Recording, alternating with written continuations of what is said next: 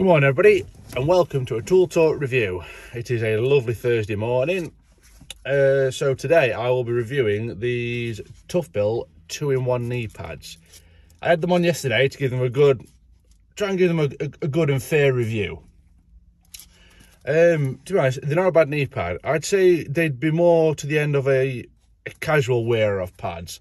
Unlike myself, I wear weight trousers, so I've got holster pockets for mine constantly. Narrowband knee pad. So two-in-one name. You get a hard shell on the front, a soft shell on the back. By the way, guys, these are really light pads, especially with the hard outer shell as well. But I'd go towards the more of a casual wearer, like I said before. So, you know, on and off, really easy to do. One strap around the back of the leg, nice bit of Velcro, easy peasy.